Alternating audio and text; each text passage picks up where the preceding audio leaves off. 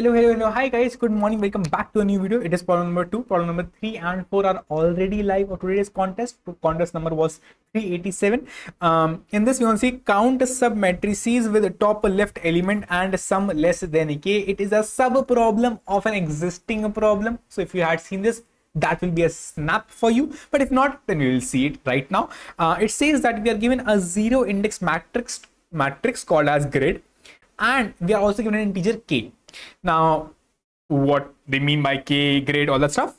Basically, we have to find the number of submatrices that contains the top left element of the grid and that submatrix matrix sum is less than or equal to k are in what all they are trying to say what all submatrices are there so for sure this is one such a submatrix whose top left again my meaning my maksad is my top left corner should be at should be there.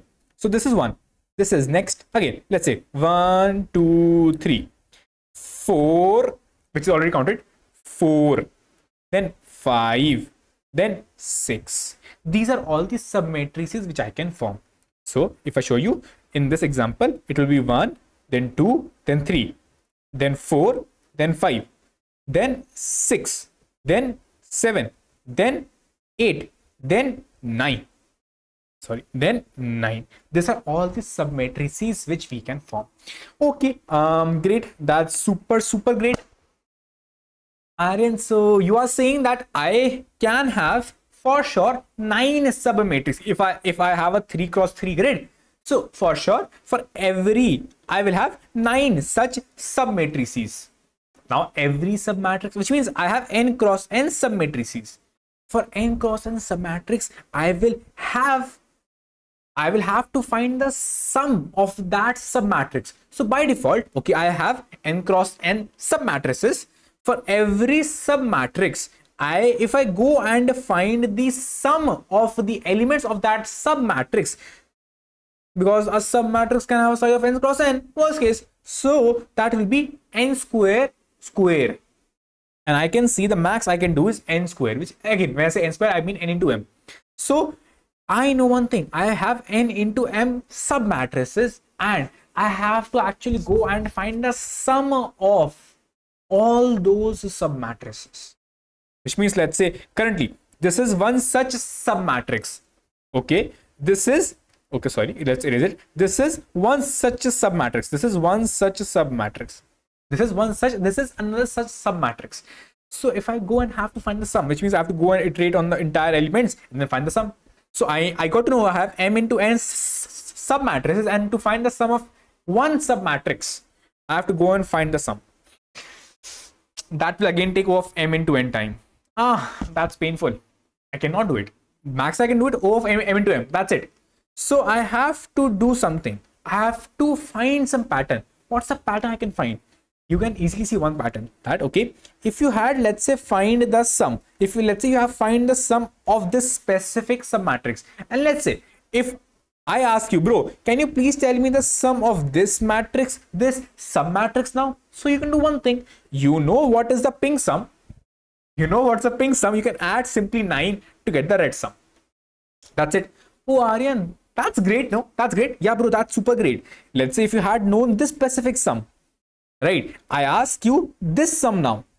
So you can say bro i know this specific red chota sum red small sum I, I know which is 8 i can simply add a 2 to get the bigger submatrix sum. Oh. Is it simply adding just one element? I'll do it. I'll do it. Bro ah, okay. You just saw one part. Or you, or you, you, you just saw just these elements.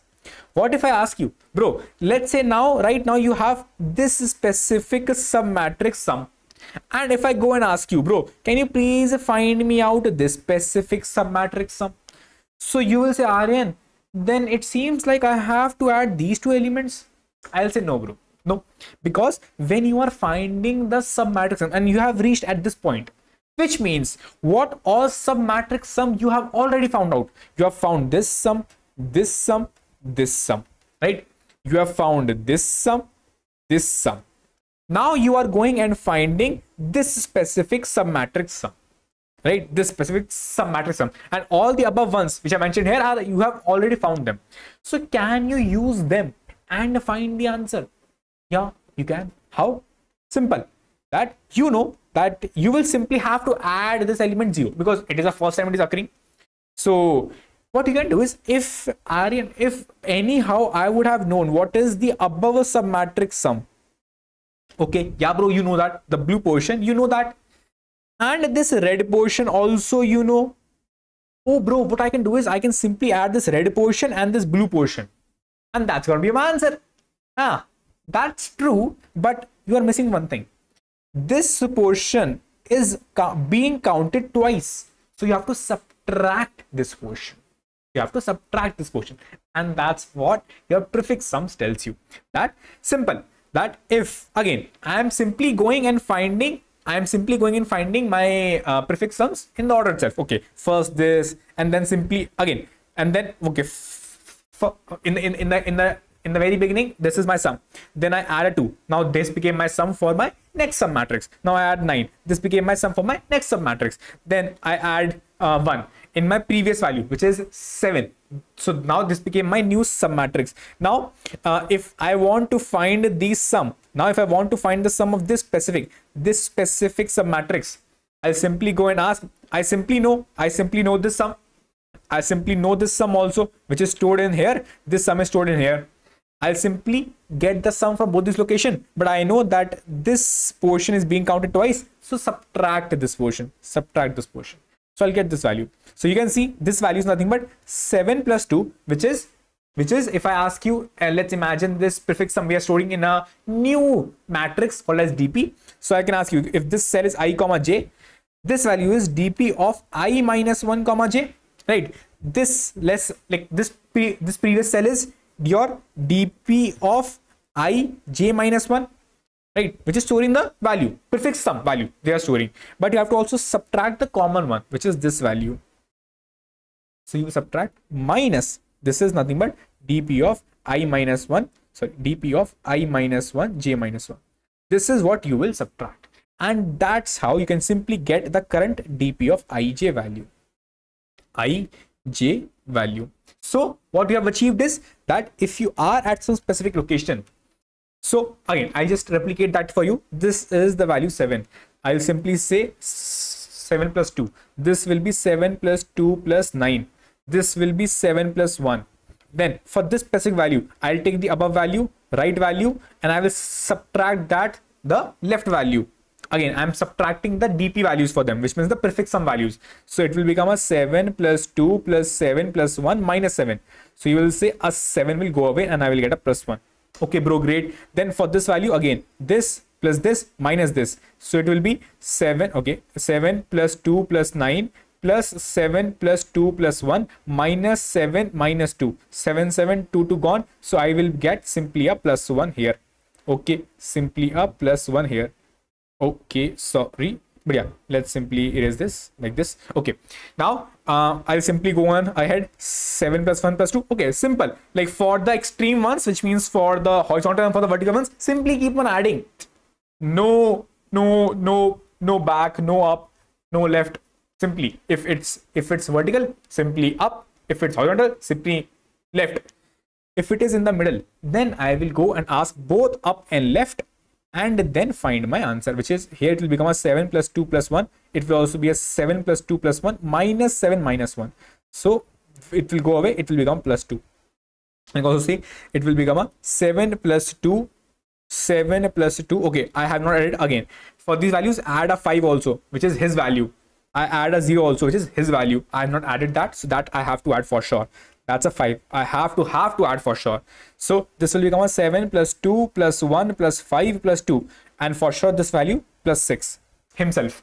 Now for this value i can simply get the above value which is 7 plus 2 plus 9 plus 1 plus 0 1 plus 0 okay 7 plus 2 9 plus 1 plus 0 then i can get the left value which is 7 plus 2 plus 5 plus 2 plus 6 and i can subtract this because it is repeating minus 7 minus 2 minus 1 minus 5 right? Simply it will go it will go it will go it will go. Answer will be 7 plus 2 plus 9 plus 6 plus 2 So it will be 7 plus 2 plus 9 plus 6 plus 2. 7 plus 2 plus 9 plus 6 plus 2 or for sure plus 6 is also here.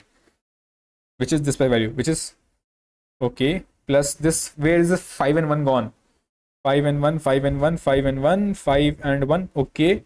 Uh here i have missed something. It should be 7 plus 2 plus 9 plus let's erase this. It will be 7 plus 1 plus 2 plus 5 left value minus 7 minus 2 so this is gone this is gone. 5 7 plus 2 plus 9 plus 1 plus 5 was remaining here. So i will also add a plus 5 and that's how you can simply do a do a solving. So you saw simply one thing. This value will be dp of ij it is nothing but your dp of i minus sorry okay um dp of i minus 1 dp of i minus 1j this will be your dp of ij minus 1 again that's simple prefix sum which i am keeping track of. I minus 1 this will be your dp of i minus 1 j minus 1 to find your current dp value you just simply need dp of ij simply uh, get the dp of i minus 1j plus dp of ij minus 1 minus dp of i minus 1 j minus 1 but current value you have to also add. So please add nums of i and j.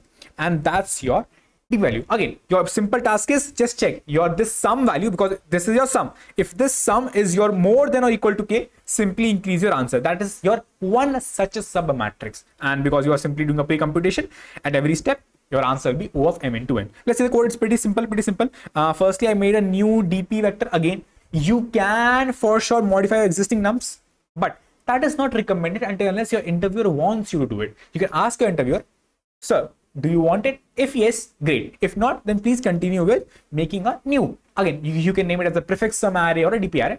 Up to you. I usually name this as a DP because prefix is a very big name. Now, uh, I'll simply want this answer, which is the number of submatrices having sum having sum more than or equal to your k. So I'll simply have okay if it's a very first element, if it's a corner element, as you as you remembered, if it's a corner element, then simply assign the nums of i. No top, no left, nothing. If it's i equal to zero, then okay, it is this specific array. Then okay, I have left. Okay, I have left. I'll simply check left and then add my nums of i.